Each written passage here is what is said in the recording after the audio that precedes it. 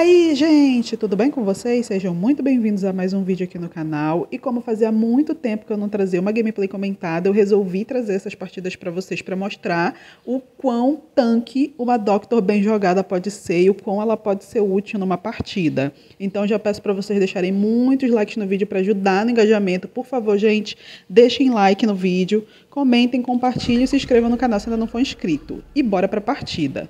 Essa primeira partida foi uma ranqueada. Eu estava de Doctor porque eu já estava bem cansada de perder. Inclusive, estava usando uma build Troll, que era Dead Hard, o Fly Will, né? E Kite. O Hunter, como vocês podem ver, era um jubileu, né? O Nightmare. Tínhamos uma Barmaid, um Patient e uma Little Girl. O primeiro kite está sendo aí da Barmaid, que inclusive kitou muito bem. Ela transicionava bem nas áreas e tal, conseguia desviar ali das porradas do Nightmare. Tomou ali a primeira cajuína dela e correu em direção à cheque. E eu tava na cheque. Inclusive, quando eu vi ela se aproximando, eu fui para trás da pallet para dropar no Hunter. Mas ela foi e baixou sozinha mesmo e foda-se. E mal tinha começado a partida e eu já tava sentindo um cheirinho de derrota porque ela tava lupando na cheque. Eu queria que ela saísse de lá para voltar a decodificar. Inclusive, mandei um get out ali para ela. Em um determinado momento, eu até pensei em tancar para que ela pudesse se rilar.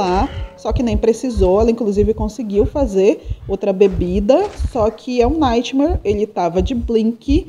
E eu até achei que ela fosse se rilar de novo. Só que quando ela tava quase conseguindo, ele blinkou em cima dela e ela não conseguiu. E ela acabou caindo perto da cheque, né? Acabou atrasando o meu decode, porque o Hunter levou ela para essa cadeira ali atrás da cheque é, e já foi ali campar uma guarda em cima da Cypher, porque ele sabia que eu estava lá. Como vocês podem ver ali do lado, o Patent e a Little Girl estavam usando o Tide Turner. Só que eu resolvi que eu que ia salvar o que não foi uma boa ideia, porque eu não tenho Tide. Eu só pensei, cara, eu sou uma Doctor, eu posso me rilar, só que sem o Tide ela não conseguiria sair da área da minha Cypher para que eu voltasse a decodificar.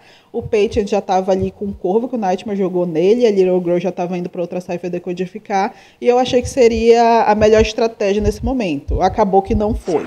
O Hunter me deu um hit ali normal, eu voltei ali em direção à cheque, a Barmaid também, ela até usou um Dead Hard ali. Eu até pensei em tancar ela, só que ia ficar elas por elas, então resolvi ir embora. E acabou que, como eu não tinha Tide, o previsível aconteceu, né? Ela caiu e não conseguiu sair dali da cheque. Nesse momento aí eu resolvi que eu ia só me rilar e ia para outra cipher, que não ia adiantar ficar insistindo naquela, porque eu já tinha feito essa merda aí, né? E agora quem vai fazer o próximo rescue é o Patent. Eu sabia qual era a cipher dele, mas como eu tava com o corvo do Hunter, eu fiquei esperando para ver se ele ia dar TP em mim ou não. A Little Girl até começou a se movimentar para ir fazer o resgate, só que o Patent falou que ele iria, então ela voltou a decodificar.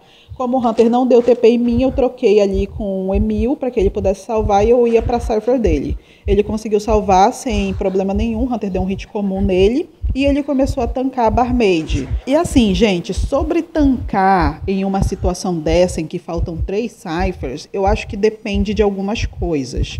Porque o Patient já tinha ali tancado um então ele poderia continuar tancando.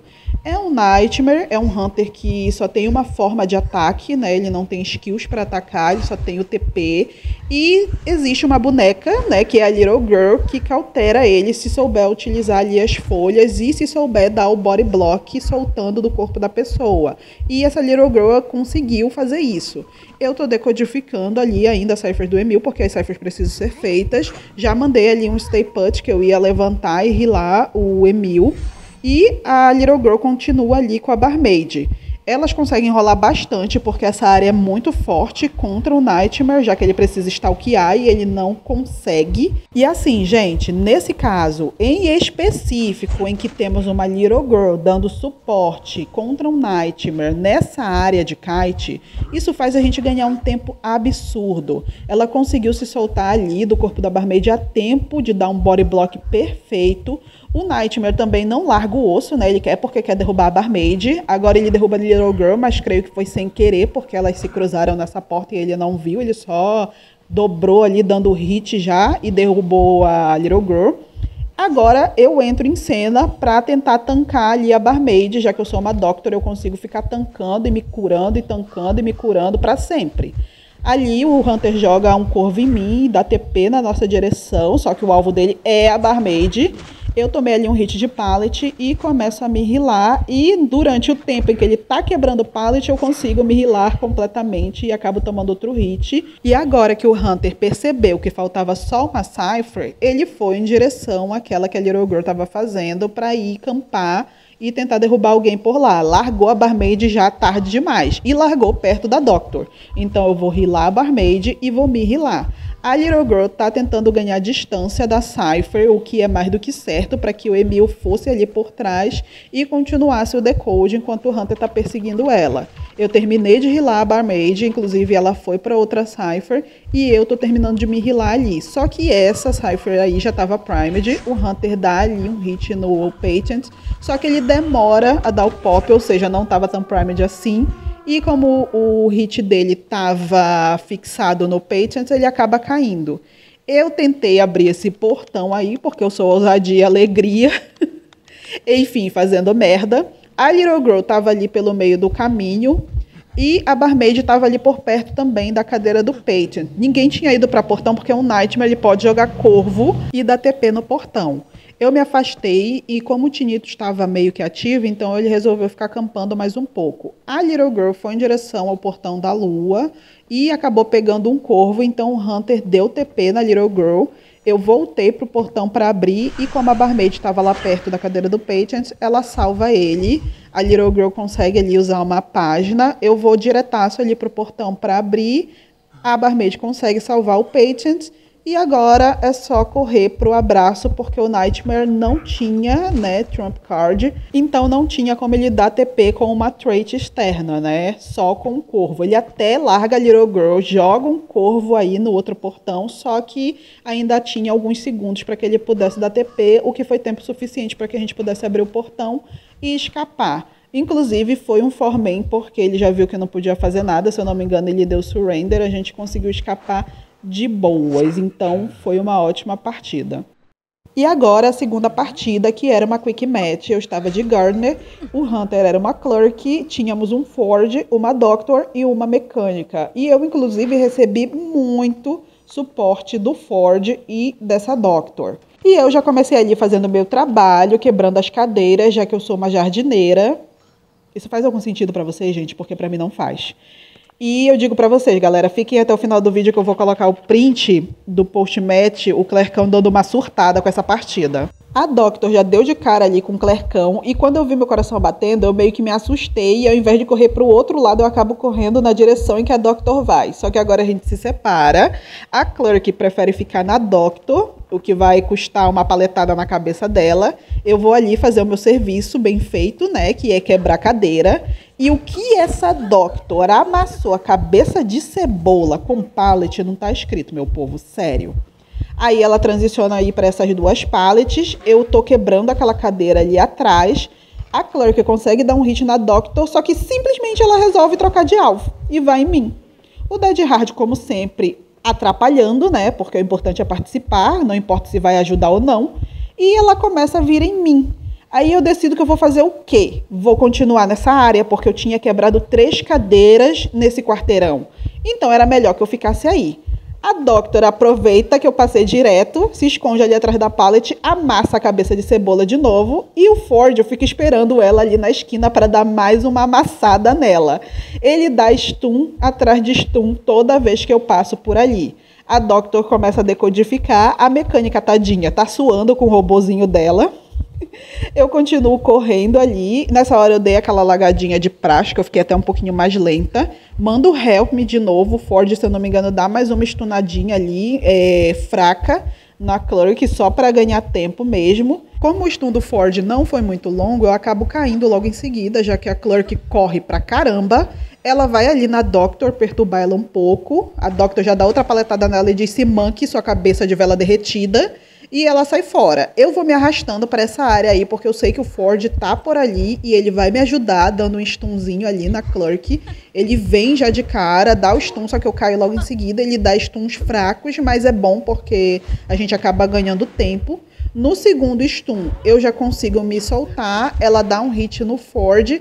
Eu suspeitei que ela tava de blink. Eu achei que ela fosse blincar nessa hora aí da parede, só que ela blinca aí na pallet e eu acabo caindo de novo.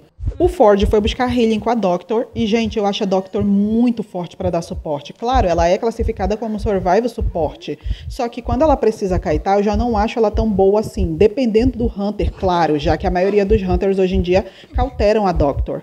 Eu ganhei ali um tempinho, já que eu tinha quebrado aquela cadeira, então a Clark foi obrigada a me soltar, né, para poder consertar a cadeira. O Ford vai esperar para poder salvar e a Clark tá perturbando ali na cipher da Doctor, não deixando ela decodificar. E gente, uma dica que parece óbvia, mas muita gente não presta atenção nisso. Se tiver uma Garner no seu time e ela for do tipo que quebra a cadeira, porque tem Garner que não faz isso, tente ficar na área em que ela quebrou as cadeiras, tá? Isso vai fazer a gente ganhar um tempo absurdo. Claro, se não for um Hunter que te force a transicionar, se for um Hunter que você consiga ficar lupando em uma área, isso ajuda bastante o time a ganhar tempo. O Ford consegue ali me salvar sem nenhum problema e fica ali me dando body block. Eu só passo direto, já que ele tá atrás de mim, então vale também o povo prestar atenção nisso, tá? Dá uma olhada para trás sempre para ver se não tem ninguém te dando body block, tá? Para você passar direto na pallet e não fechar a pallet na cara do amiguinho sem necessidade. Ela tentou ali colocar uma gravação na pallet, só que eu consegui pular.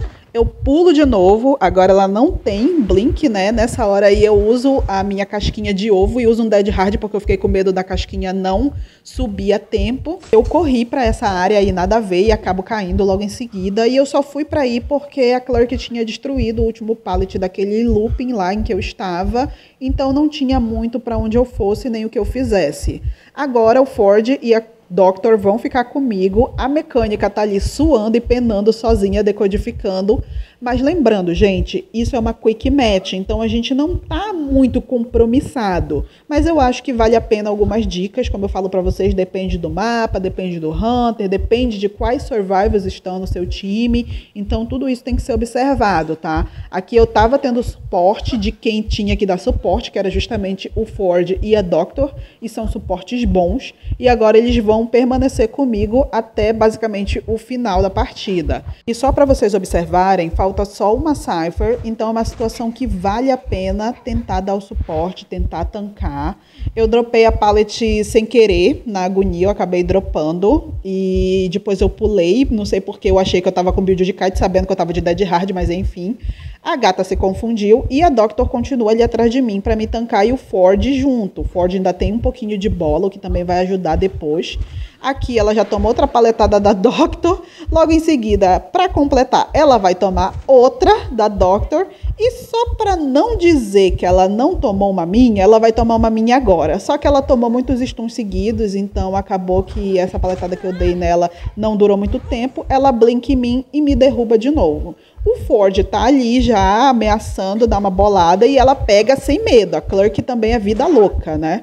E ele dá um stun nela, ela acaba me derrubando. Nesse momento aí a gente só tá ganhando tempo. Ele stuna de novo, os dois vão para perto de mim, ela acaba derrubando o Ford meio que sem querer. E eu vou pro bondinho e a Doctor vai logo atrás. A gente vai parar lá na Geisha, só que a Clerk, ela simplesmente larga o Ford lá no chão, não pega ele e vai atrás do bondinho.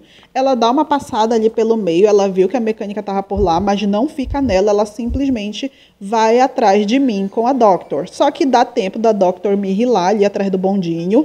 Só que quando ela termina, a Clerk já tá por lá. O Ford está ali no chão, ele vai se levantar logo mais. A Clerk vem em mim de novo, me acerta outro hit e agora a gente vai para outro looping que é esse aí. A Doctor vai permanecer atrás de mim, a mecânica já está decodificando a última cipher. O Forge, né, levantou e já vai ali também decodificar. Agora não tem muito que ele faça, já que ele não tem bola para continuar dando suporte. E quem vai ficar me tancando vai ser a Doctor. Ela já deu ali um tanque, continua paletando a Clerk. o que é ótimo, gente. Eu achei tão engraçado a quantidade de pallet que essa Clerk comeu nessa partida, não está escrito. E a gente continua aí nessa área, só lupando, só tentando ganhar ali um tempinho e ela perturbando também na Cypher. Então, tá uma loucura, gente, porque é os dois botando pressão, é o Survivors e o Hunter. Agora, finalmente, ela larga, foi que nem aquele Nightmare, largou porque viu que estava numa situação crítica e foi lá campar a Cypher derrubou o Ford, a Doctor já me rilou, a mecânica tá tentando decodificar, só que é uma Clerk, ela não deixa decodificar muito tempo, ela aproveita em que a Clerk pegou, né, o momento em que a Clerk pega o Ford no balão, para puxar mais um pouquinho a Cypher e ganhamos mais um tempo com a minha cadeira quebrada lá no início da partida, porque ela tem que largar o Ford para consertar a cadeira. Nisso a Cypher já está praticamente primed, só que quem dá o pop é a Clerk. Só que ela deu o pop depois que a Doctor já tinha salvo o Ford. Ela mesma deu pop, ou seja, ela basicamente se fudeu sozinha, a si mesma. E a gente vai para o portão agora para tentar abrir, o que é outra, né, outro desafio, digamos assim. Ela derruba o Ford, a gente está tentando ali abrir o portão, só que ela vai ficar perturbando. Só que do nada, um surrender. Eu acho que ela deu esse surrender porque aí no final da partida ela começou a dar uma lagada. E eu vou mostrar para vocês aí o que ela falou no post-match, o pequeno surto da Clerk.